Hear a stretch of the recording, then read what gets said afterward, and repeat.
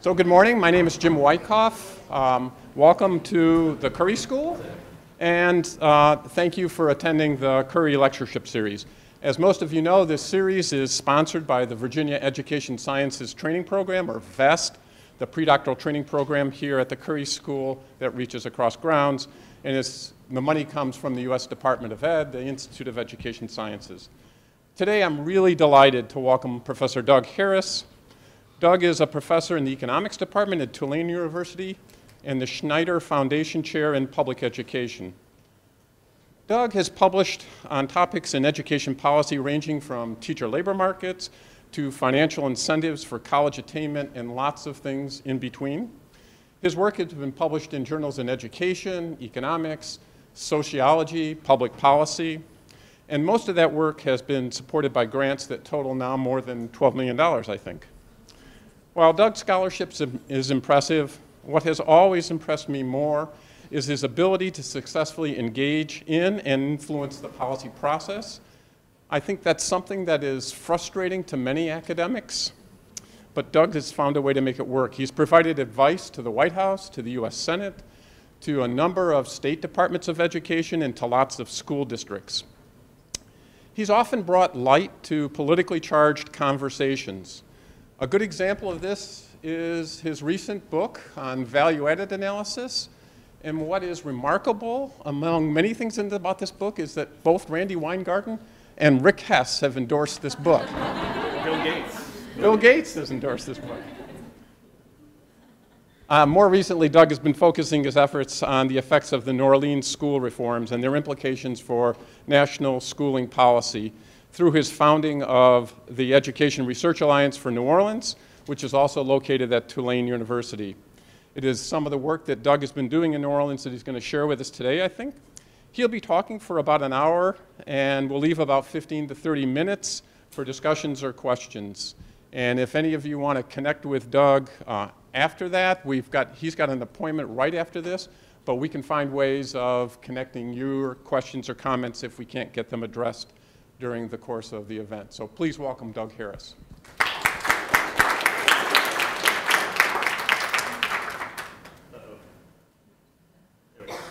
All right, thanks, Jim. Uh, I really appreciate being here. I've, I've always wanted, I've never been here before. I've never been to Charlottesville, so I'm glad to be here for the first time. Uh, Jim's uh, introduction was way too generous. I, I, probably learned a lot of what I know from him because of this conference that we both uh, are a part of, the American Education, uh, well, we used to be American Education Finance Association, now AEFP, uh, where when I first came in, you know, Jim was uh, one of the, the senior uh, and most uh, well-recognized people, and, and so learned a lot from, from him along the way, and I think everybody here should, should be uh, fortunate to, to have him here. I, I, remember when you first came thinking, wow, something really big is going to happen at UVA if Jim's going there, and I can see that it has happened with all of you here. So this is great. Uh, so I'm really glad to be here to talk about uh, the work in New Orleans. Uh, it's a very interesting and un unusual case. Uh, I want to start off with acknowledgments, so just partly to show the size of the operation and the number of uh, people and organizations involved. Um, we obviously we have a large national research team. We'll be hiring this year if you're looking for a job. hiring postdocs. So these are, this is all, basically all postdocs uh, right now, and some of them are on the market looking for jobs, but we will hire to replace them. Uh, so that's important. We also have a national research team of other scholars uh, trying to get others uh, from other universities, including here, working on some of the work uh, that we're doing there. We have an advisory board. Now, the advisory board is really interesting because uh, the, the, contentiousness of New Orleans. So in New Orleans, uh, when I first went down there, and I said, I'm here to, to study the reforms, I'm going to be objective, and I don't opinion on it? Everybody said, yeah, yeah, yeah. Let's find out objective. We'll see what that really means. Uh, nobody uh, uh, believes that, that idea. Nobody believes that you are, can not be on one side of this debate in New Orleans. Uh, I think we finally convinced them that that's not necessarily the case. But to make this work, we have to have a really wide variety of people. So we have the teachers' unions on this. We also have the Recovery School District, which is the, the organization that basically took over the schools and eliminated the teachers union. Uh, so you can imagine what our board meetings are like. It's pretty interesting. Uh, they're often going from court where they're suing one another to coming into our advisory board meeting where they're working sort of together. Uh, Another interesting part about this is that four of these organizations wouldn't exist really anywhere else in any other school system. So the Recovery School District is one, so that's the state agency uh, where all the schools were moved after Hurricane Katrina. Uh, so, so that's the main governing body now for most of the schools, and all the schools under the Recovery School District are charter schools.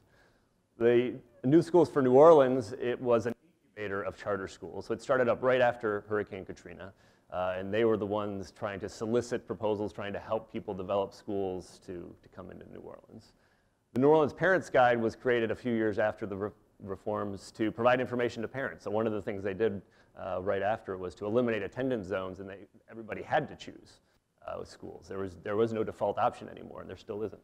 So this guide was created, and, and there's an organization supporting the guide and the, the data collection that goes into that.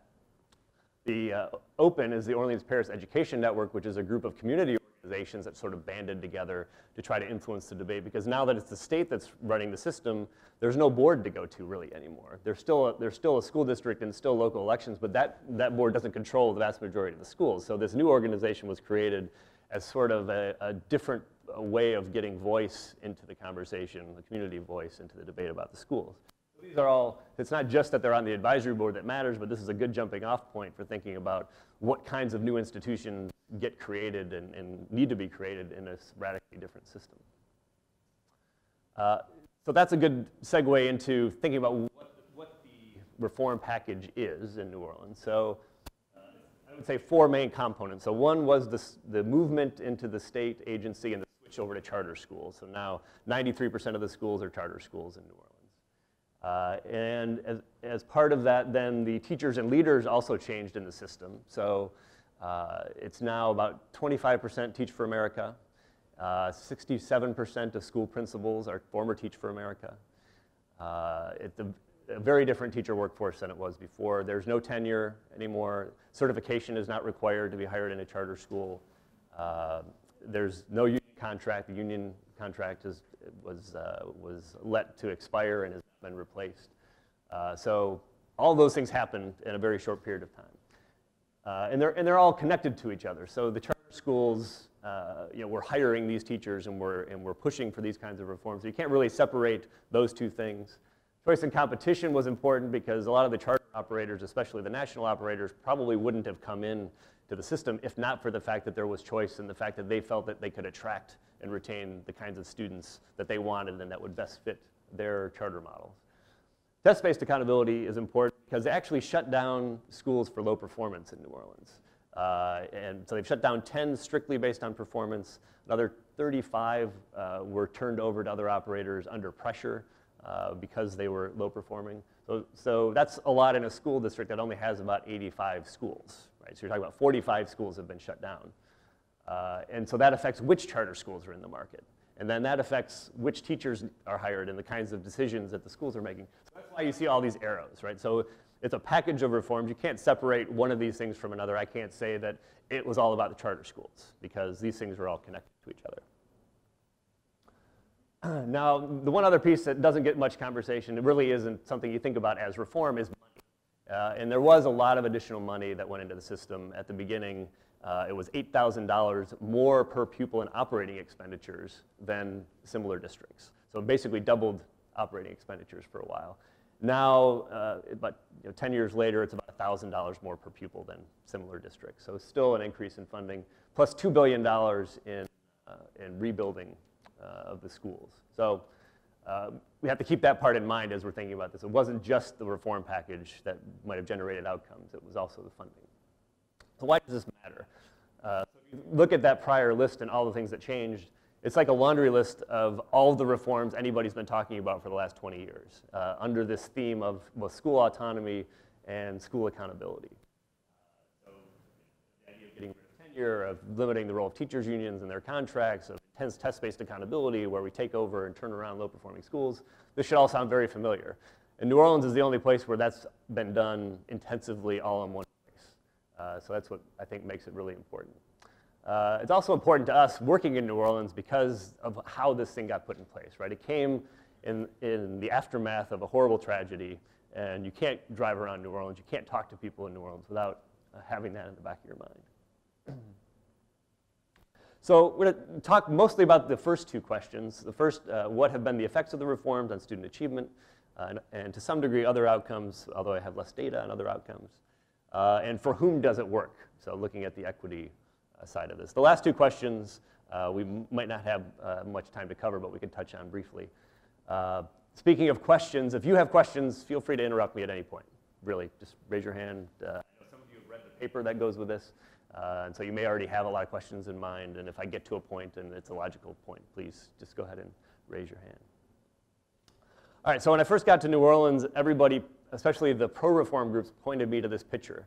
Right? These are the trends in performance in New Orleans pre and post Katrina. So this, is, this was 2005 here in the fall. This is when the hurricane hit. So beforehand, if you look at the yellow line, that's uh, Orleans Parish as a whole, and this light blue is Louisiana, and you can see 24 percentage point gap in the percent who are basic and above. And by 2014, that was a six percentage point gap. And so reformers have basically declared victory and said, see, it worked. We don't need your research, right? Look, just look at the trends. That's all, that's all you need to know. Uh, obviously, all of you know better than this. And so there are specifically six problems we need to deal with uh, in, in trying to figure out what the actual effect was of that reform package. Population change is one. So after the hurricane, everybody had to leave. Uh, they shut down all the public housing projects, uh, which made it hard for the lower income families to come back, at least initially. Uh, and the uh, lowest income neighborhoods were hardest hit. So the lower ninth ward is the one everybody hears about, but uh, there certainly is a correlation between income and, uh, and the damage. And if your area was more heavily damaged, then it was also harder for you to come back. Second is distortion test-based accountability, so this is a general problem that we, we have whenever the stakes attached to a reform are really intense uh, and focused on, on outcomes, uh, that those outcomes may get distorted, that teaching to the test, cheating, those kinds of behaviors. Uh, the third is that students weren't in the New Orleans schools the whole time. So they were evacuated, most of them uh, entered into other schools around the state and even in other states.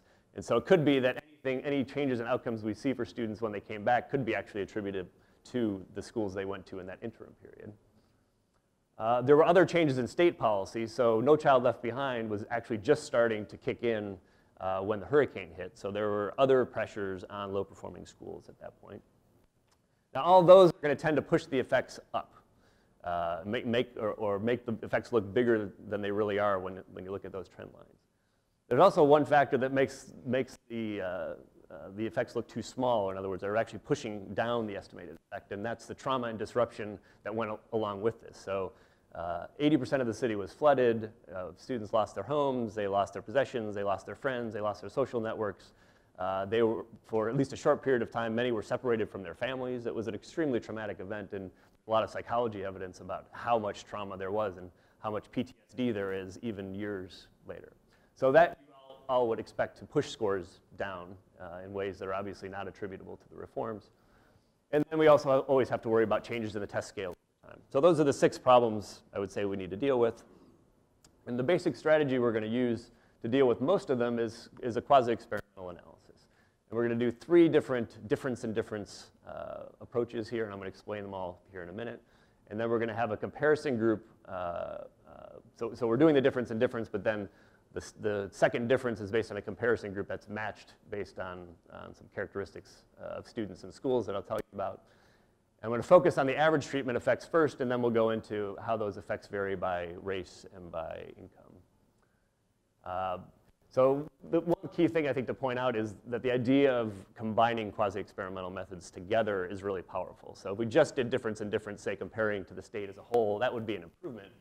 But the rest of Louisiana, if, if you know Louisiana at all, is nothing like Louisiana, right? So that might not be a very good comparison group. And this is why adding matching onto difference and difference is, is really powerful. Okay, so the data are like the state data systems you're used to seeing, student level data uh, from the Louisiana Department of Education.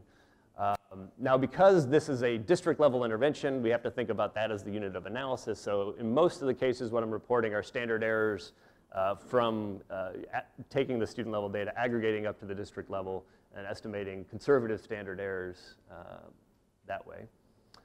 We're going to, back to 2002 up to 2012. I'd like to go more recent than 2012, but I didn't have the data.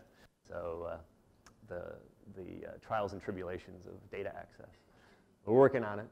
Uh, so actually, it's a nice stopping point because there are really different phases of the reform. So phase one was mostly what I described a minute ago. Uh, the- so this has included uh, eliminating attendance zones, eliminating the teachers union, eliminating tenure, uh, certification requirements. All that happened right at the beginning. Uh, but the schools were not all charter schools at the beginning. So that was really phase two. It took them a while to find charter operators to come in and take over the schools. So that's phase two. And that's really what stopped in about 2012. By that point, almost everything was a charter school. And then a new phase of reforms uh, started at that point that I can talk about later if you're interested. So this is a nice uh, estimate then of the first two phases. Uh, we're only going through middle school because we don't have high school test scores that we can readily analyze, and we don't yet have the, the uh, high school graduation and college entry data that we need. Uh, but we're getting close. More trials and tribulations. So standard difference and difference model, we're looking at the effects of achievement. Uh, that's A. The um, gamma there is fixed effects for each district. D is pre and post reform. Uh, NOLA is, is NOLA. So we're interested in delta. And we're going to focus on the last year. So um, I'm actually not even going to report it this way in the paper. If you read it, this is how it starts off. We look at the difference from, from pre-Katrina to the, the most recent year, 2012. Uh, and the reason for doing that is that we had good reason to think that it took a while for the reforms to take effect and to really uh, to, to, uh, to come into being uh, a potentially effective system. So you think about what it would take to start a school. Now imagine doing that 85 times and having to create an entirely new system and all these new organizations that I described earlier. That's going to take time. So you wouldn't expect to see an immediate effect. And so we don't do what's also common in difference and difference analysis, which is to average all the pre and post years together, for example. That doesn't make sense in this case because we, we clearly expect there to be improvement, not a, not a sudden shift. So instead, what we do is an event study analysis where we basically estimate the effect at each separate point in time. That's what this equation illustrates. so uh, there are two different ways, general strategies here. One is a panel analysis where we take the same students who were there pre-Katrina and uh, follow them over time. So th- some of them came back, so we can actually see the same student before and after the reforms were put in place. So the advantage, obviously, there is you can account for unobservable differences. The disadvantage is that it's a small sample, so it, a lot of students didn't come back.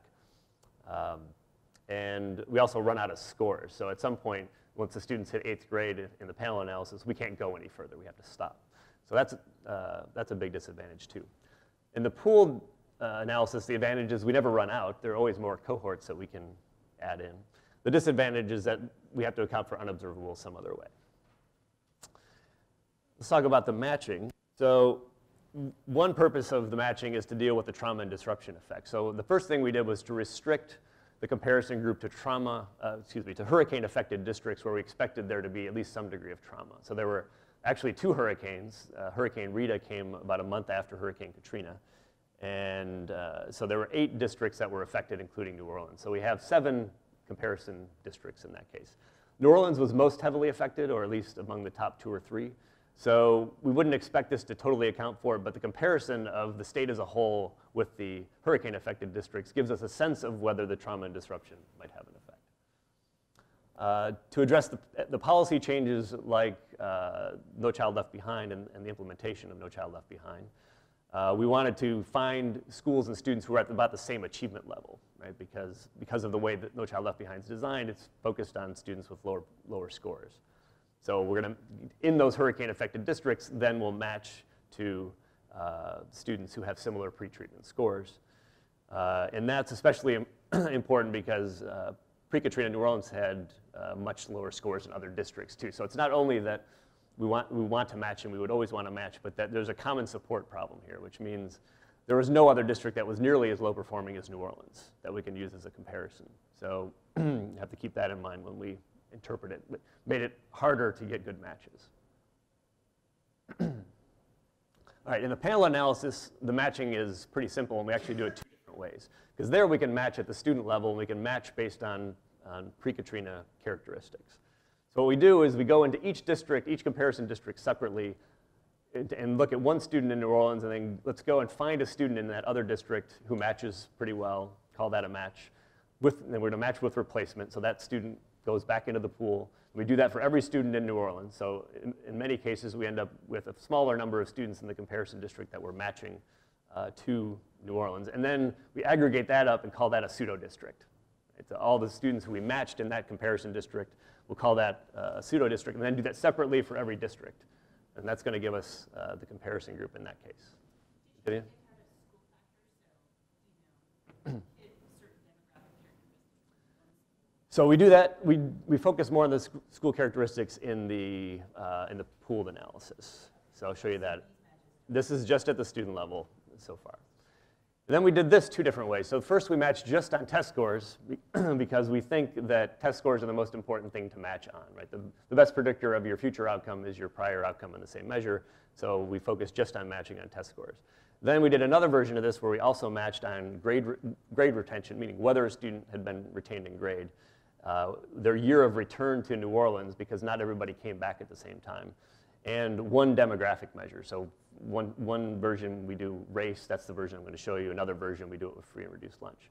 So the sacrifice when you go to version B is that the- match on test scores is, isn't going to be as good because in the matching process it's considering all of these factors. Uh, yeah, Jim. Did you guys consider thinking about matching on trends in student achievement? as We did- to just the levels? We did do it based on, on trends. Yeah. I should have said that.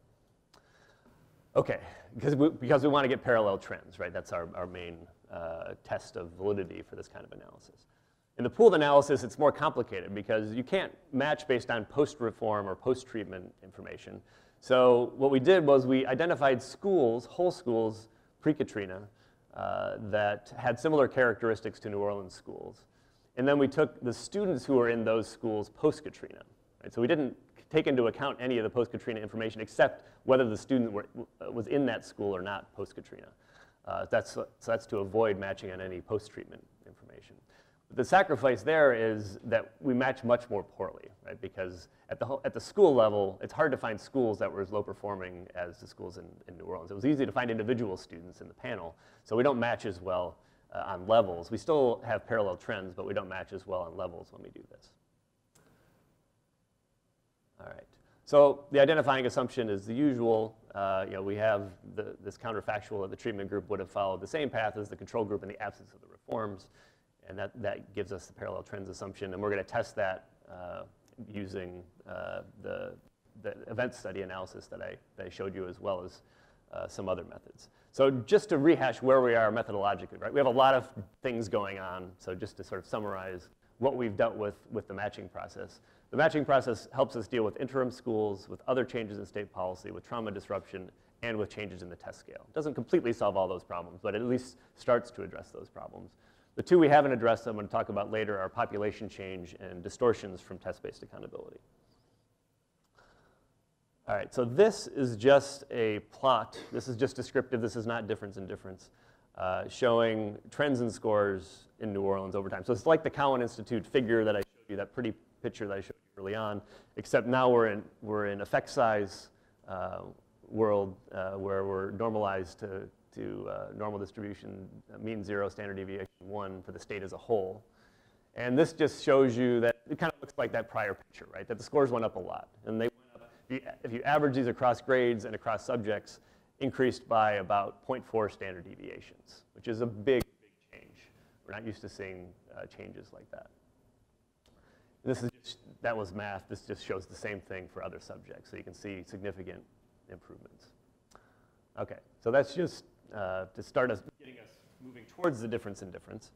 So here are the actual results now for panel A. So remember, this is the one where we matched only on test score, um, on test scores and not on the other things. So this is the students who were fourth graders in 2005, just before the hurricane, and, and the last score we could observe, who came back in 2006, which is the first year they could have come back. We did this separately for each grade and for each year of return, but they look fairly similar. Fifth grade looks a little bit different than fourth grade. A couple observations here. One is parallel trends looks good, right? So this is the panel, so this looks good. Doesn't look as good, quite as good in the pooled. Then there's a dip.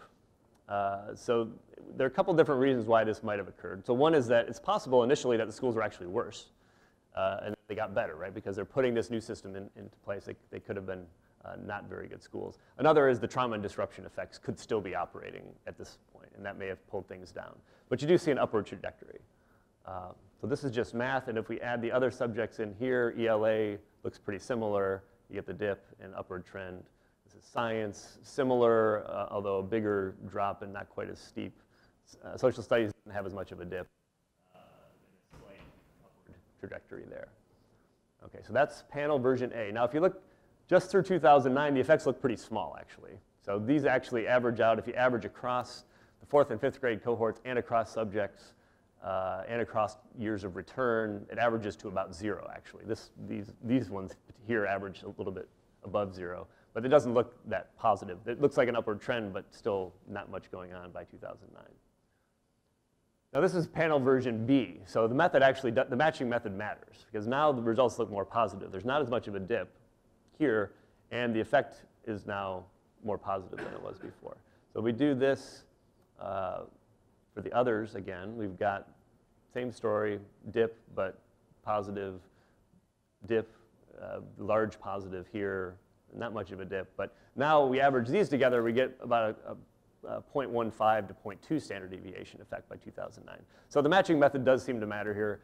We don't, at this point, have a strong preference, and we're not sure which one that we should, uh, we should believe between the, just between those two. Um, but the one thing that is consistent, at least, is that there's this upward trend. So now here's the pooled. So in the pooled, it looks different in a couple different dimensions. One is we don't see a dip. We very rarely in any of the pooled analyses see the dip. It, it looks like more of a a sharp increase. And the effects are, end up being larger. So here now we're at, at 0.4 already, which was ba basically would explain the entire upward trend uh, over time. And if we do this again by subjects, you see similar thing for, uh, for science, ELA, social studies. These are, again, big effects looking at the pooled. Okay, we did a lot of robustness checks, so the other robustness checks didn't matter. The things that matter are how you match and whether it's panel or pooled. Whether we aggregate at the student level, or aggregate to the district level or do it at the student level with, with clustered standard errors doesn't matter. Uh, whether we add a, a covariate for whether students were retained in grade, whether we add covariates for student demographics, whether we had bin indicators to deal with the stratification and the matching process, none of that matters. We also tried some other strategies. One was to use district switchers. So even before Katrina, you could, you'd have some students moving into New Orleans and then you'd have people moving into New Orleans after, and so you could uh, look at the, the district switch before and after to see whether moving into New, New Orleans after Katrina was better than moving into New Orleans before Katrina. Um, and you can also do the reverse of that, whether moving out of New Orleans ends up being uh, worse for you after Katrina. Uh, we actually get pretty positive results from that strategy, similar to what we get from the pooled. Uh, we also did a comparative interrupted time series version of this, which is actually not very different from the, the event study. Also gives similar results to pooled, and actually should say panel B, not panel A there. So basically, all these methods give us towards the more positive end of the, the results that I showed you earlier. Hey, Ben. Same, so the, the out switchers, there are substantial negative effects of leaving post-Katrina? Well, so the question is whether there was an improvement. So let, us just, we'll, we'll take the out switcher example. So pre-Katrina, somebody could have left and we can observe them before and after the switch, but where both of those periods are in uh, the pre-reform. And New Orleans was worse in a value-added sense pre-Katrina. So if you left New Orleans, you usually did better. Question is whether that difference changed post-Katrina. And the way it looks in the results is leaving New Orleans was worse for you after the reforms, suggesting that the reforms improved the schools. Yeah. Yeah. Are there equilibrium effects like post-Katrina in terms of how states reallocated resources to different branches? Oh, in terms of funding? Uh, I think it's easiest to take the funding differences as sort of bottom line, how much money did they have to spend, and I'm going to talk about that a little bit more. Um, but generally, no. There was some emergency funding that came into New Orleans, some of it phil philanthropic money, uh, but the state didn't change things very much. Okay, so so far, you're probably thinking, eh, I'm not sure what to make of this. Uh, and we weren't either. So for panel A, the results averaged to about zero. For panel B, averaged to about 0.2. And for the pool, average about 0.4. Obviously, those are, those are different. So the question is, why are they different? So one obvious reason is that the time frame here is different, right? So the, the panel analysis only goes to 2009. uh, and the pooled goes, goes later. Uh, the trauma and disruption might be biasing the panel downward because uh, when we're, we're matching only on returnees, returnees probably had a worse trauma disruption effect than the, than the overall sample. So that could be pulling down uh, the results in the pool, excuse me, in the panel relative to the pooled. And population change. So the pooled could, might be upwardly biased because population changed and we haven't accounted for that yet. So let me deal with those next three things. So this is now lining up, these, these two figures are the figures I already showed you earlier for panel, uh, actually I should say panel B, I made that same mistake again. So that's panel B, this is matching on, on everything. in the pool, now I'm just lining up the years so you can see the difference in what we did here. So now this is up 2009, this is a point uh, 0.15 effect, this is about a 0.29 effect. So this one is still bigger than this one, but it's much more in the same direction. In fact, when, when you average them across grades and, and subjects and so on, it ends up looking uh, pretty similar. The, the panel B looks a little bit lower than the pool, but not by much. All right, so clearly, the, the number of years involved seems to be a big part of the explanation for the differences. Uh, the interim schools and the trauma and disruption. Now, it's hard to separate these two things uh, empirically, but it is possible to get a net effect of those two things. Uh, and there's a RAND study that actually did this right after the reforms, and they estimated a net effect of a, a negative 0.03 to negative 0.09 standard deviations, meaning uh, that students who left uh, New Orleans, they ended up losing uh, a little bit. So part of it was they were gaining on the interim school side, but they were losing on the trauma side. And so the net effect of all that seemed to be negative, meaning the trauma effects seemed to be winning out over the interim school effects. Um, so that would suggest that we're, the trauma and disruption might, in that dip, it might be actually a downward uh, bias in the, in the, uh, uh, the panel results. Uh, but that might fade out over time. So maybe now when we look at the later years, we would expect the trauma and disruption to have less of an impact. Okay, population change. This is the one that we've spent, I'd say, the most time de uh, dealing with. So this is just comparing 2004 or 5 demographics just before to 11, 12.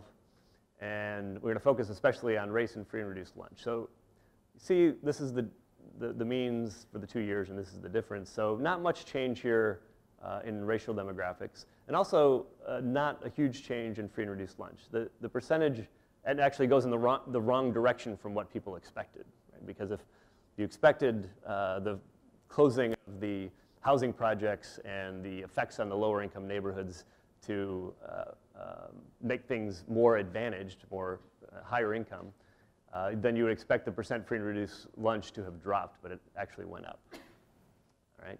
Now, I don't quite believe this because uh, one thing I learned pretty recently is that uh, free and reduced lunch, you can be eligible for it if you're considered homeless, and you can be considered homeless if you're not in a permanent home. So after Katrina, very few people were in a permanent home. So you probably had some relatively high income people who were eligible for free and reduced lunch at that point in time. So we don't quite believe this, but this was our starting point anyway.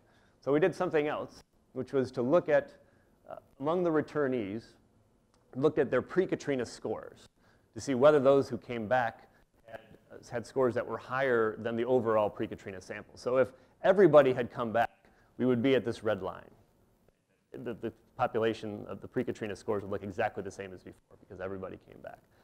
But at the beginning, it looks like the story played out just like we described. That the more advantaged much higher pre-Katrina scores than those who, who didn't come back. But over time, and this is cumulative, so now we're adding the 2007 and 2006 returnees here. So now you start to get uh, more scoring pre-Katrina students coming back. And by the time you get to 2010, now you're only about 0.02, 0.03 standard deviations. Now remember that the effect sizes here we're talking about are possibly 0.4 standard deviations. So looking at this analysis, it doesn't look like that could be much of an explanation uh, for the results. But we still don't believe this because these are only returnees. So it could be that the newbies, the people who came to New Orleans who weren't there uh, beforehand, maybe they were different somehow. So we had to do something else. So we got the census data and did a simulation like this. So the first thing we did was to calculate the changes in census measures like income levels. Uh, and and uh, so, so this wasn't just relying on free and reduced lunch type measures. This is actual income information from census. And we could do that relative to the comparison group. Then separately, we estimated using the ECLS, the Early Childhood Longitudinal Study from, uh, from the US Department of Education, which has the same census measures in it. Uh, we estimated the relationship between those census measures and student test scores. And then we put one and two together and said, all right, what, let's do an out of sample prediction. Given the changes in the census measures we see uh, in New Orleans, what's the predicted effect on test scores from those changes in demographics? All right, so that's the process. Now let me show you how it turns out. So th- these are the changes uh, in New Orleans and Jefferson Parish, which is, is right next door. And this was kind of a middle ground uh, parish in terms of the changes in their demographic information. So we think this is a pretty reasonable approx- approximation. Uh, in New Orleans, income went down, but in Jefferson Parish, it went down more. Uh, and you see a similar pattern actually for all these measures. So percent BA, the difference in difference for New Orleans uh, improved. So uh, the, the, the number of BA recipients went up by 10 percentage points, or the share went up by 10 percentage points. And it also went up in other places, but it went up more in New Orleans. So bottom line is New Orleans did become more socioeconomically advantaged. Now the question is, how much does this matter? So the next step is these are the results from the ECLS regression. So this is just estimating the, the relationship between these same measures. So the effect of income now on test score levels here, and the effect on test score gains here. And this is just the coefficient from that regression. So the relationship between these socioeconomic measures and test scores. And then we're, so we multiply those two together so we can get this change times this coefficient gives us a 0.006 standard deviation in gains that, for that particular one. Then, last but not least, then we do that for all of these different categories. So we have it, the predicted effect on levels, the predicted effect on gains, and then we can combine these. So this particular cumulative effect of test scores uh, is taking third grade levels and then assuming the student's in the school for five years and take the effect on gains, add all that up to get a predicted effect on test scores. So that's what, that's what we're doing here is getting that predicted effect of being, of being more socioeconomically advantaged and being in a, in a school system uh, for about the same number of years as the students in New Orleans had been. It's a long, convoluted process. Uh, it ends up, if you add or average all these together, it ends up being almost exactly what I showed you. So yes, it's slightly more socioeconomically advantaged. The predicted effect from that simulation is about there. And, and this is showing it here. So it's very slight differences. So that gives us pretty good confidence. Now we've done it three different ways, right? We looked at the administrative data, we look at the, the test scores of the returnees, and we do the census simulation. And we, it- all of them are basically telling us the same thing. Um, so that gives us confidence that the pooled analysis is probably not upwardly biased because of population change. All right, so now let me skip back forward again. All right, so now I've dealt with four, the first four things with the matching process, and I've now dealt with population change. Now, we haven't talked about the distortions from test-based accountability yet. So this is hard to deal with because in New Orleans, unlike Florida, we don't have an audit test. We don't have some low-stakes test that we can compare with. Uh, so that's unfortunate. So what we did instead was to leverage the fact that the stakes on social studies and science were somewhat lower, at least in some grades and subjects, than they were in math and reading. So we looked at them by subject. And actually turns out there's no difference at all looking at them by subject. So that gives us some confidence that what we're seeing is not just uh, teaching to the test and, and test distortion. Let me just pause for a second. Any questions anybody wants to bring up at this point? I know I'm throwing a lot at you. I get to get a drink. Okay, keep going. All right, so to summarize, uh, the reforms seem to have produced large effects. So we don't know exactly what range. I would say in, it explains probably between 50 and 100% of the total improvement, somewhere in that. It's a, it's a wide range, but even if you take the low end of that range, it's pretty big. Um, and even if you take the more pessimistic view, the interesting thing here is there's no other theory for why the scores went up. So even the critics of the reforms don't say, uh, oh, the scores went up because this other thing happened. Nobody has a theory for why the scores went up. This is another key factor, I think, in the interpretation here. All right, so now let's talk about uh, heterogeneity. So how does this play out now when we look at subgroups? Uh, this is a big deal because a lot of the press around New Orleans has been around the idea that disadvantaged students were harmed.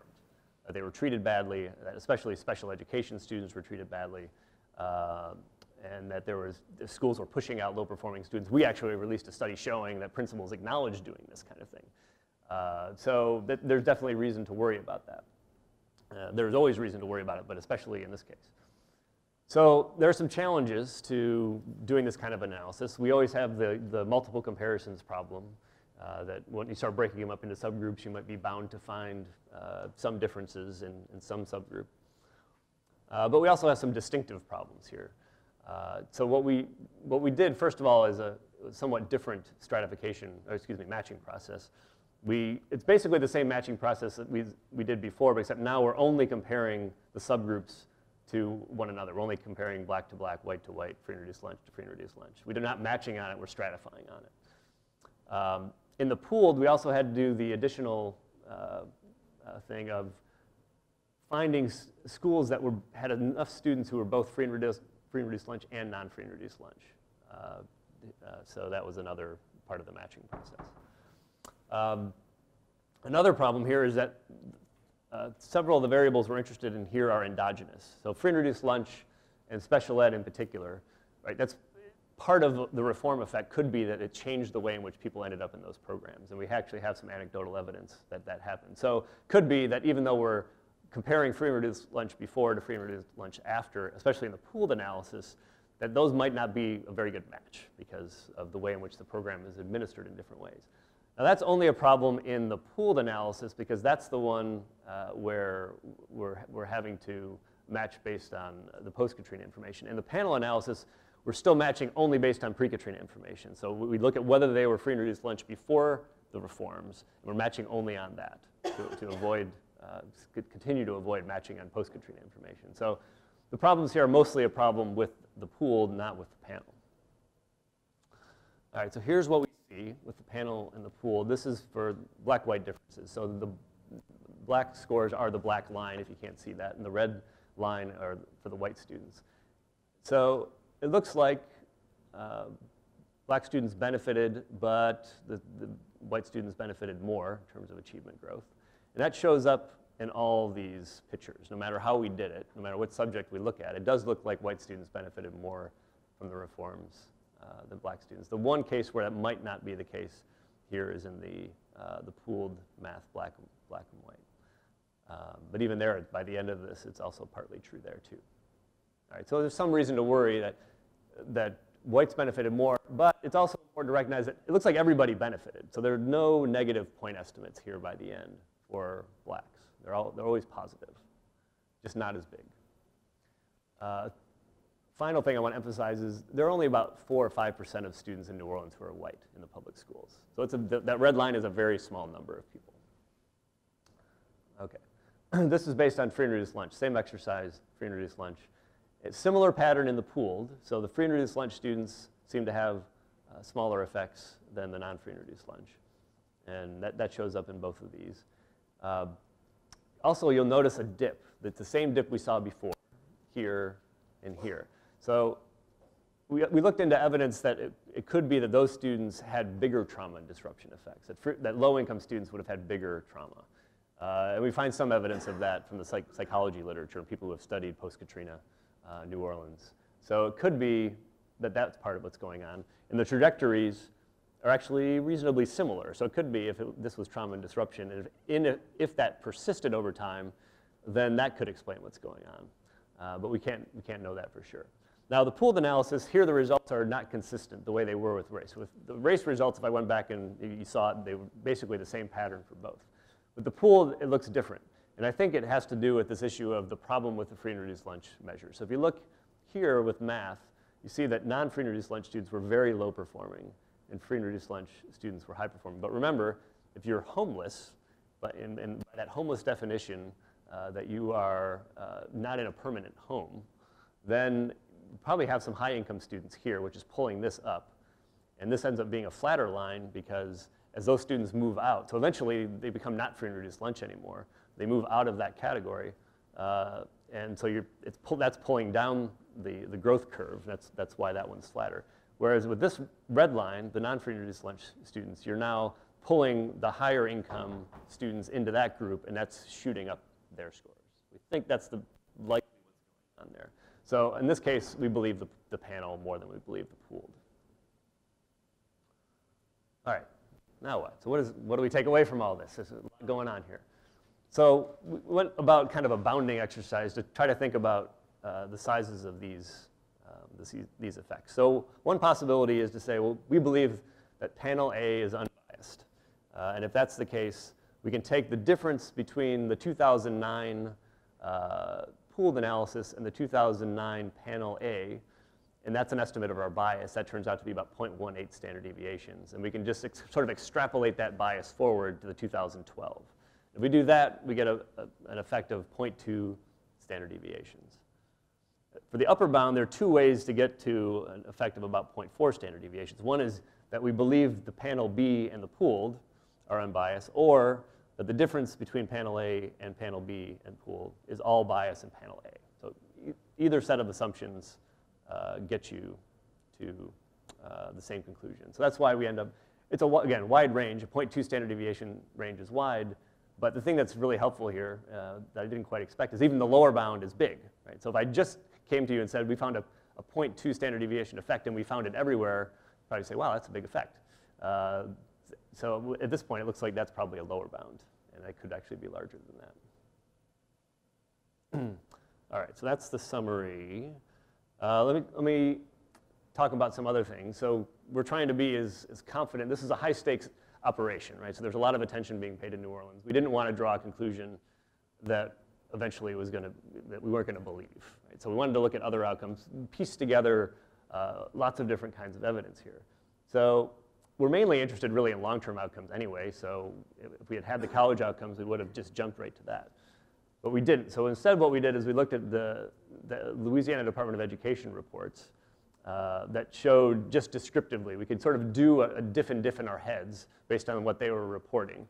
Uh, and it looks like the difference in difference between New Orleans and the state as a whole on college entry before and after Katrina uh, increased college entry by about uh, 13 percentage points, which is big.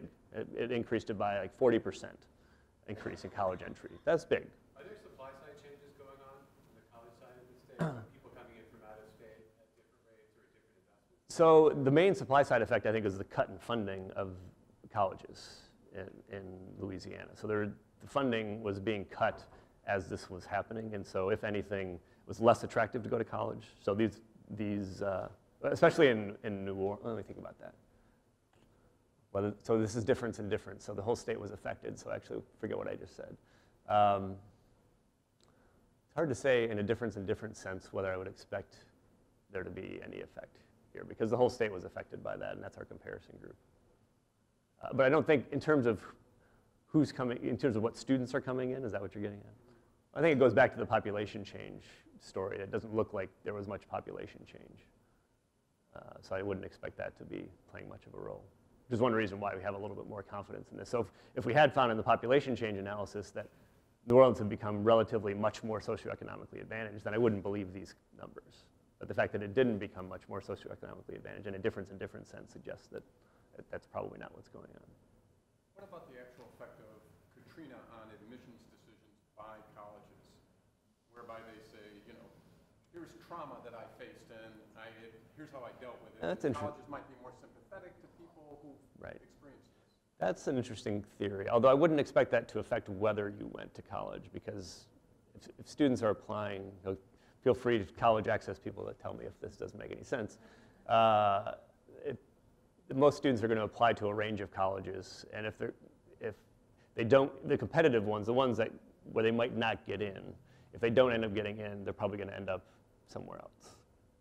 It'd be interesting to look Reasonable? at changes in, in entering class composition at in some of these institutions, changes in shares of out-of-state students from uh, digested education statistics, things like that. Um, I'm not, I'm not convinced that that's the story, but it, Right. but it, I think this, this question of how there, whether there are supply side responses as you go further with this might be interesting to dig into. Yep, no, I agree. It might also be that they receive more financial aid because of this sympathetic That's actually really interesting, because I, I think it, cha- aren't they, it it may increase the shares that are automatic EFC zero. Um, So you may see, it- it'd be interesting to see whether there's a shock to Pell boards. Um, Part, like, I, I It's- can't remember off the top of my head how the free reduced lunch affects one's Pell designation. Um, Zach? I don't think it- I don't think it does, does it? I don't, I don't think it does, directly, does it? I mean, they're correlated, obviously, but I don't. Um, that- that's an interesting theory. So, again, looking at the whole package, though, which is kind of what I'm trying to get us to do, is to look at all of these outcomes together and say, all of them are pointing in a very positive direction, right? Everything looks positive. Uh, it's, so you you can you can definitely attack any individual piece of evidence here, but it's, I, to me, I, I find it hard to attack the overall story because it's uh, so uh, strong. The, the effects seem to be large, uh, and it would be hard to tell a story that would turn all these things small. I think. All right. So in the coming months, we're trying to get the data so we can actually analyze these things ourselves. Um, one worry, uh, so the, the one uh, caveat I'll say that I think is the biggest issue right now in my mind is that there's some evidence that uh, schools were assigning students to uh, an out-of-state transfer category that was making the, the high school dropout rate look too small. So once you do that, it takes them out of your pool for the school. They're no longer in the denominator anymore. So if they were doing that, then that's making the, it's making the high school graduation numbers look too high. It's also making the college entry numbers look too positive because if they're kind of pushing out low-performing students, calling them out-of-state transfers, then the, the denominator there is only high school graduates. Then it could just be that more advantaged graduates uh, were, were getting through high school, and then that's making things look more positive on the college entry too. So that, that to me is the biggest question mark I have right now. So we're waiting on the data to, to dig into that. Um, so I mentioned at the beginning the resources and cost effectiveness side of this, and this is something that I did a lot of uh, for a time uh, earlier in my career. And so I mentioned these numbers and these, these sharp increases in funding. Uh, the question now is think about these effects relative to the costs, right? So is it, it, was, it was a large investment. Now, was it worth it or not? So what I did here was to, com to compare and to create effect, cost effectiveness ratios for New Orleans relative to uh, some, some comparable, well, I wouldn't say comparable, to other programs where we can do the same thing. So this paper I wrote in 2009 in EPA, where I just basically did a, a review of studies where we had rigorous evidence for which we could also calculate cost, and then created uh, comparable and showed how to create uh, comparable effectiveness cost ratios. This is, these are short-term effects, meaning that these are uh, based on test scores captured right after the intervention took place. And that's also true of what's going on in New Orleans. So this is really the most comparable column.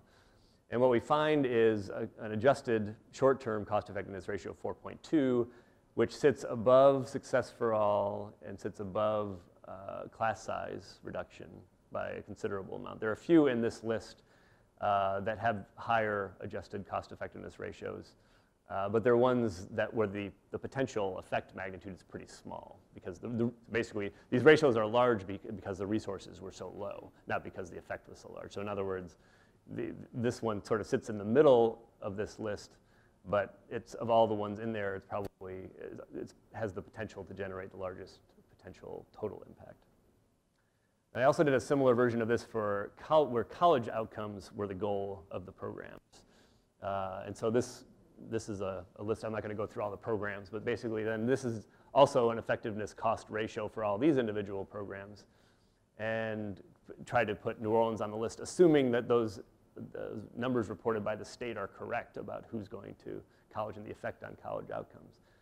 Uh, the other important caveat here is that some of these are college access programs, and these calculations don't account for the effect of getting students to graduate from high school, which a lot of college outcomes, a lot of college access programs actually affect that outcome as well. So this is only the, the benefits of getting more years of college. And if we put New Orleans on that list, it ends up being about there which puts it, again, above a lot of the standard stuff like uh, loans, merit aid, uh, the opening doors experiment that MDRC did actually shows a, um, little bit more positively. This, uh, uh this is a student services estimate, mostly from sort of fancy regression analysis. Uh, this is a remediation estimate from uh, Bettinger and Long, which is much more like kind of off the charts positive. so New Orleans sits kind of in the middle of that distribution. Uh, so above, above some that are standard, but below other, uh, other interesting programs that are now being considered nationally. All right. So now, now I'm basically done. How are we doing on time? Pretty good on time, all right. Um, so I would say, I, I, to my surprise, I thought going into this exercise, knowing how many methodological problems we were going to have, I thought coming out of this, there was going to be no way I'd be able to say anything with any confidence. But actually, I feel pretty confident that this had a substantial increase in, uh, in academic outcomes for students. It may have had other side effects, you know, things that we haven't talked about here, like uh, you know, taking away from culturally relevant uh, content, taking away from the arts, uh, definitely a concern. Um, uh, it may, it, certainly some students were treated badly, and definitely some of the stories that I've heard, and I don't think even the reformers would question these stories. Like some really bad things happened to some students uh, as a result of these reforms. So I don't want to kind of downplay those individual horror stories, but trying to, at the same time, look at the, the picture as a whole. all the subgroups appear to have benefited, uh, although not all at the same level. Again, the more disadvantaged students seem to have benefited less. Um, intermediate outcomes uh, also changed a lot. So we didn't get a chance to talk about this uh, for sake of time, but we've, we have a whole range of studies uh, ongoing about how instructional practice changed, how parents were choosing schools, how school principals responded to competition, how the teacher workforce changed. So a lot of these are already on our website uh, if you want to see those details. But basically, it's, it's plausible when you think about the kinds of things that were changing inside schools and charter management organizations that it could have generated an effect like this because there was a lot going on. It wasn't that nothing else changed. There was a lot going on in all of those different mechanisms. Um, the effects are pretty large relative to most, I would say, I should say, common policies and, and estimates of their costs. Um, and again, the main caveat here, I think, is the test-based accountability and the fact that, uh, especially on, on uh, high school graduation, and college entry, and maybe also the test scores themselves, that there's a little bit of data manipulation going on here uh, that we haven't quite captured. That's it.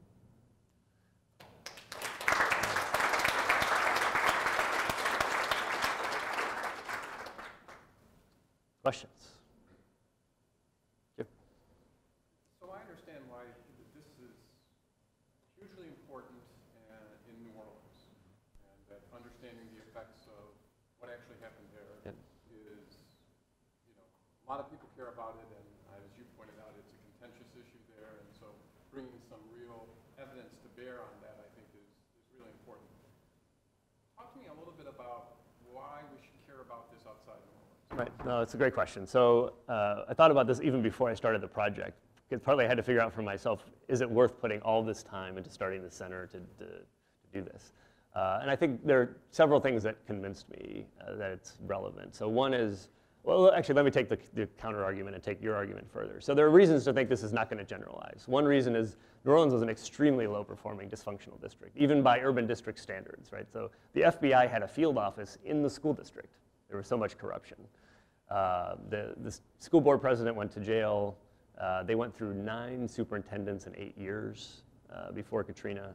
It was terrible. Um, it was really, so dis districts that are more functional are probably going to benefit less from this uh, than New Orleans. Uh, second thing is because it came on the heels of Katrina, there was a lot of uh, national interest, uh, sort of outpouring of support for the city. So people wanted to come, teachers wanted to move to the city, school leaders to move the city in ways that other cities are not going to get. So Baton Rouge is trying to do the same, same thing. The Recovery School District operates in Baton Rouge. They can't get people to go to Baton Rouge. Uh, so th that's something that's not going to generalize to other places. So I think one way to think about this is it's probably an upper bound estimate of what's, what would happen in other places. So even, even the upper bound estimate of the upper bound of the upper bound is uh, what I'm talking about here. So I don't think the effects would be as large in most other places as they are. But the fact that uh, that they were able to make these kinds of changes, to me, when I see what's going on there, it makes me question assumptions about what a system can look like.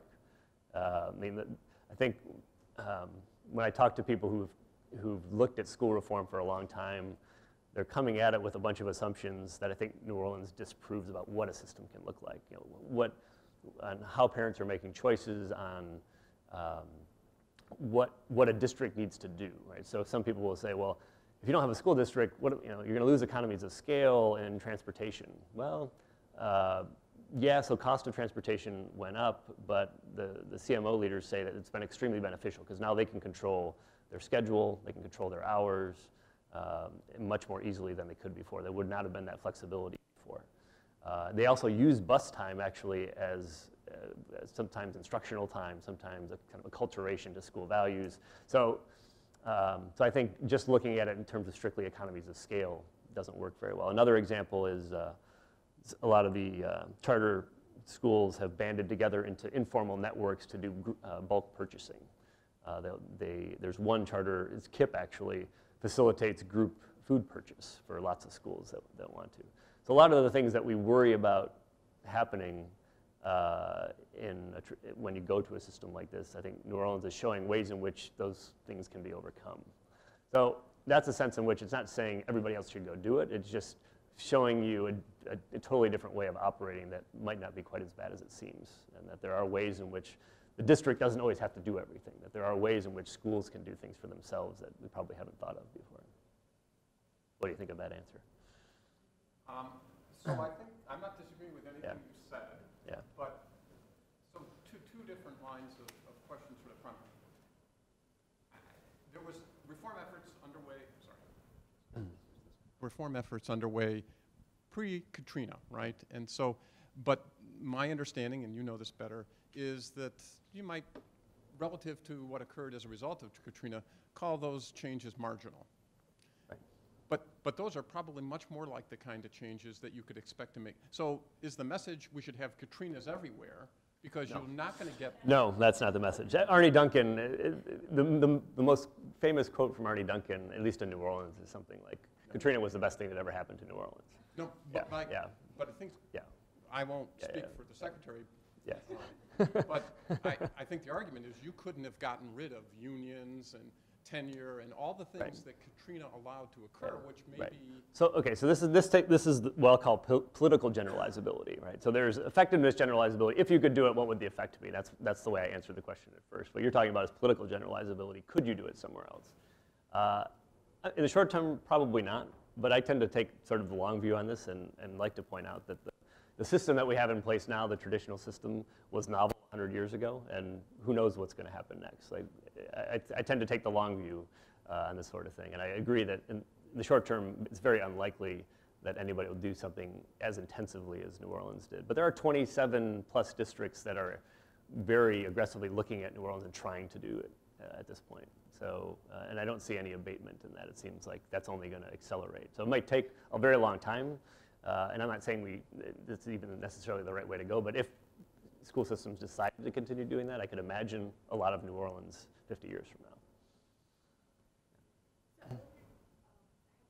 I thought about or attempted, it worth attempting to look at variation, I guess, within schools within New Orleans in terms of you have numbers of different types of charter schools. There's probably variation in terms of approaches that they adopt using a diff and diff strategy.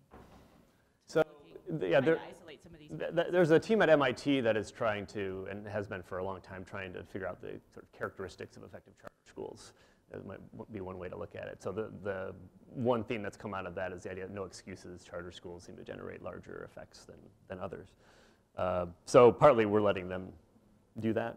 Um, partly, I, I don't think in New Orleans that's the most interesting question, partly because that's a question we could ask elsewhere. I don't think there's anything, there are charter schools all over the place now, and so we can go look at the characteristics of, of effective schools in other places just as well as we can in New Orleans. And I think what we're trying to focus the research agenda is on things that you could really only study in New Orleans.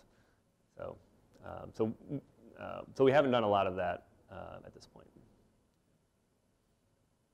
Yeah. In one of the tables you showed, it looked like the number of students had dropped. Um, For like 10,000 fewer students. Uh, it's almost, yeah, 15 to 20,000. It's definitely smaller. Um, So did class size change as well? Actually, very little. There's almost no change, at least in the pupil-teacher ratio. We can't actually calculate class size directly, but there's very little change in the pupil-teacher ratio. Okay. I thought that might be, it could, be- could have been an important factor. Yeah, we looked, we looked at, yeah, we- we, we've been looking at, uh, from every angle we possibly can. And I, I'm- I've only given you, believe it or not, this is like 5% of what we've done over the last uh, year and a half.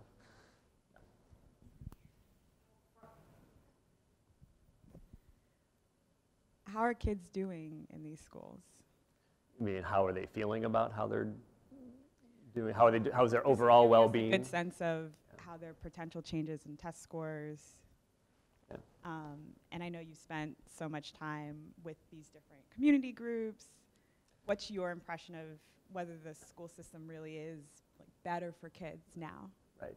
Uh, I think it's, it's better, but I think there's a, there are some big philosophical issues about what better means, right? So um, I think the schools are definitely more focused on basic academic skills than before, like, and that's what we've been able to measure, and I think that's what we're seeing in the scores. But you know, I, I think there is reason to be worried about the, the loss of, uh, of the arts. That's been one that I think clearly there was a loss in that, at least at the beginning. Uh, a lot of the charter schools are now starting to create bands and things that they didn't have at first. So they're, they're, they're sort of they're, they're converging back to what traditional, to some degree, back to what traditional schools look like. A lot of them have also cut their hours down. So initially they were having these really insane hours, and then they started to cut back again more towards the traditional uh, hours. So I think uh, they're better off academically in the sense of these basic academic skills that we're measuring. I think it's a lot harder to determine whether they're better off in a larger sense. First of all, we don't have any data on that. But I think you're probably asking me, just, what's my impression? Um, I think they're going to be better off in the long term and the things we usually focus on in terms of their income and their job prospects and their college prospects. I think they'll be better off in those respects. Um, but they'll definitely be different people than they would have been under the old system in other ways because the system is just so different from what it was. It's trying to do things so differently. Uh, You, you mentioned that some students, or at least at one point, were pushed out of schools for low performance. Did you look at all where those students went from there? What, you know, how did you we- account for them? Uh, we can't see who's being pushed out. That's the main problem with that kind of an analysis. We do have a mobility study uh, that will be coming out relatively soon, actually, uh, that looks for general patterns in the data. So one of the one of the results of that is that uh, high-performing students are, tend to migrate to high-performing schools, and low-performing students are less likely to migrate to high-performing schools. So that, that suggests some sort of uh, splitting apart of, of the system over time. Um, but all we can really look at is, we can look at mobility patterns, but we can't really say much about push out per se. I had a question about the heterogeneous effect. Act- I had two, but I think you kind of alluded to the second one in the mobility questions. First is, obviously, free and reduced lunch is a really broad measure. You know, in, in, in New Orleans, given how many students qualify for free and reduced lunch, that, that's the bulk of the students. And I don't, you have a data problem, but is there any way to capture whether students at the lower end of free and reduced lunch are responding differently to the reform than others? Uh, we're trying to get data that at least distinguishes free from reduced. Uh, we haven't been able to get that yet, but uh, that, that's as fine-grained as we could get, I think. in- in that And do you have, and perhaps you answered this with your question about high achieving students, but do you have a sense that, for example, the white students are, I'm sure that the schools were highly segregated before Katrina. And, are there differences in the the Yeah, composition? So we have a study on segregation. Uh, so that suggests, as you, as you suggested, that segregation was very high to start with, and it didn't get any worse, and it didn't get any better. Uh, it depends on which, which group you look at. Uh, by race, it actually, I think, got better. Uh, by, we also did it by achievement level, so see whether low, low scoring students were being more concentrated. It does look like there was, there's more segregation by achievement level than there was before.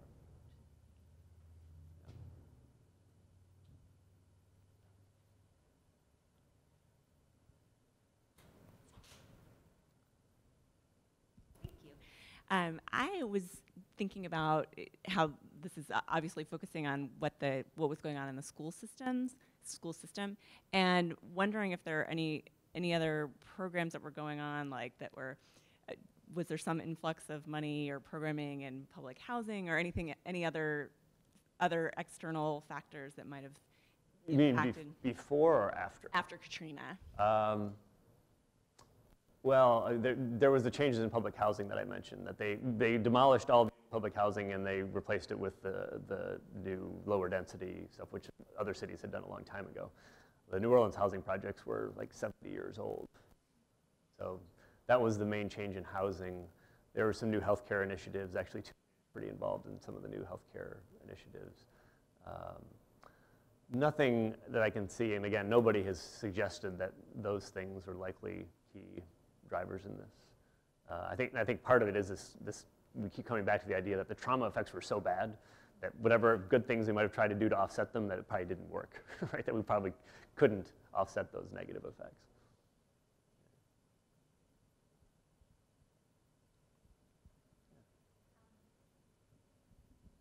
So the, you spoke about the Education Research Alliance being kind of an objective creator of evidence um, in a place where that's really needed.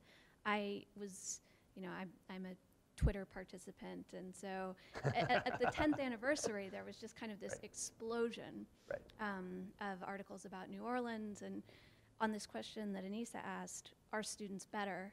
People seemed to kind of want to make an unqualified yes or no. And so I was just kind of wondering how you guys thought about your role, like in that discussion.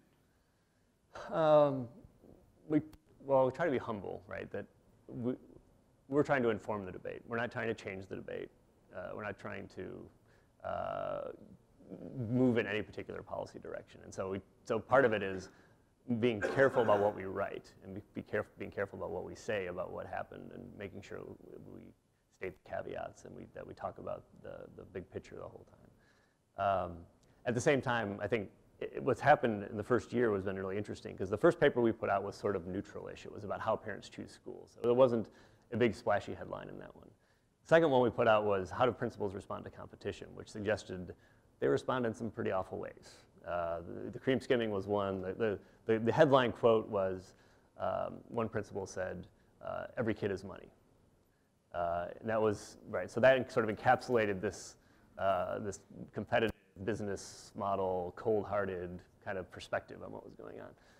The reformers hated us at that point because you know, they didn't even deny that it was happening. They said, well, that was, that was happening before, right? It's all changed. We're all better now. Um, you know, and, I, and so part of it was having to push back and say, no, look, you, you, you can't do that, right? You can't, say, you can't say, you can't criticize us for saying something that you know is true uh, because it happened two years ago. So a lot of it is, you know, uh, conversations behind the scenes and that sort of uh, not uh, trying to get them to, to calm down and just realize that there are some bad things happening and we need to say them. And we also need to say the good things that are happening. Uh, and so then the flip, then, then what happened is it totally flipped. So then we released the, the, the good news uh, about the achievement effects, uh, and it, then it totally changed. Then the reformers, oh, patting me on the back, saying, wow, great study, and the people who didn't like the reforms were vilifying us, and it was, yeah, so, um, it, you know, it is what it is. We, we need to be able to take that criticism. I need to, first of all, I have to buffer everybody else in the organization from it, right? So I take it. and try to keep everybody shielded from it so that everybody else can just focus on the work and not have to be worried about what the pushback is going to be. I'll worry about the pushback. Uh, they just need to do the work. So I, that's how I think, that, that's my biggest concern is making sure that we don't pull punches because we're worried what somebody's going to say. And I don't think we, I don't think we have.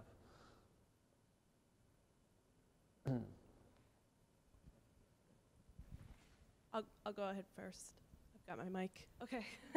um, I was curious about whether um, in these intermediate outcomes that you all are looking at in the future, you're including any um, affective outcomes for educators in the district.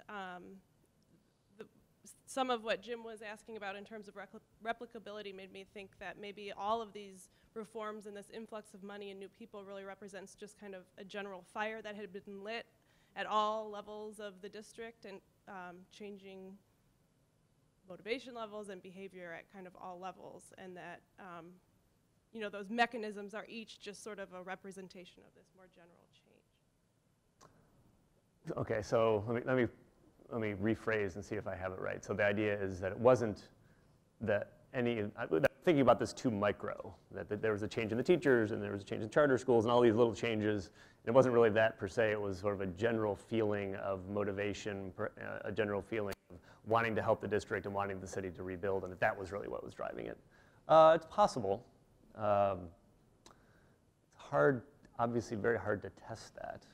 Um, I'm just curious to see if any of those types of outcomes are being considered, because Yeah. as you mentioned, there were- were these drastic changes, Yeah. which are now kind of, you know, the uh, drastic change in hours, which are dying back down, uh, probably as people settle down a little bit. Um, Right. and- So the other thing we've done, and we haven't utilized these data enough yet, so we did a survey last year where we tried to interview every teacher and leader in the city.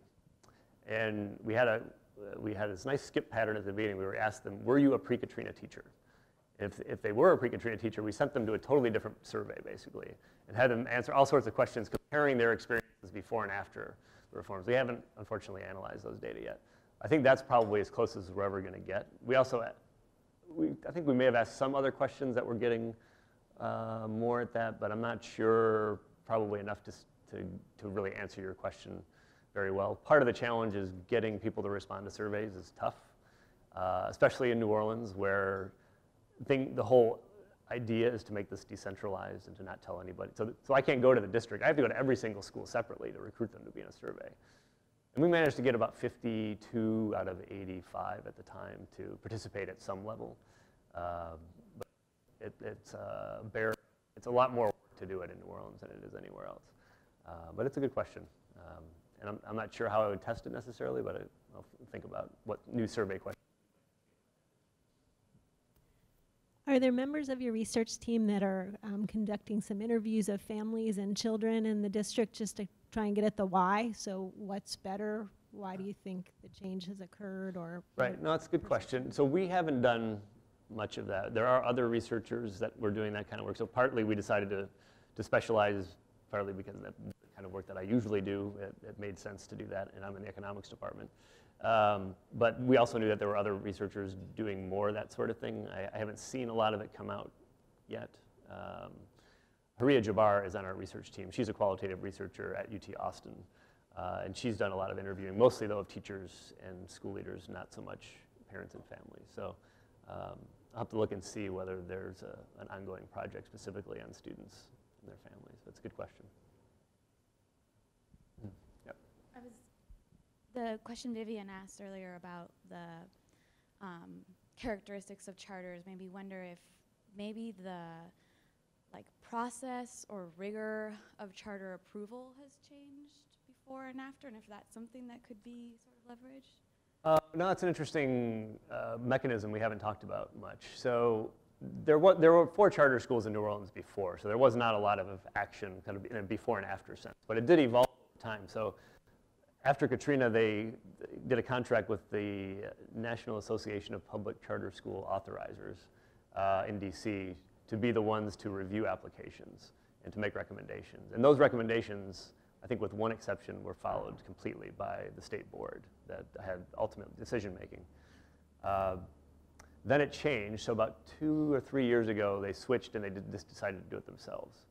Um, I don't know whether the decisions are ultimately changing uh, as a result of that. Um, my sense is that they wanted to have more control, that they couldn't follow, easily follow the recommendations of an outside agency when part of the mission, they view it as creating a, the right mix of schools. So no outside agency could really make that kind of a determination. They're looking at each individual application, whereas the school system wants to look at the, whole, at the whole. So I think it probably made sense for them to take it back over again. Um, that's at the initial authorization stage. At the closure stage, it's a little bit more mechanical because schools can only get certain kinds of renewal uh, under certain circumstances that are based on their test scores and the school letter grades. There's some wiggle room uh, in there based on other factors and more subjective factors, but they, they sort of tie their own hands a bit and, and really focus on the scores. So thanks very much. This is great. Thank you.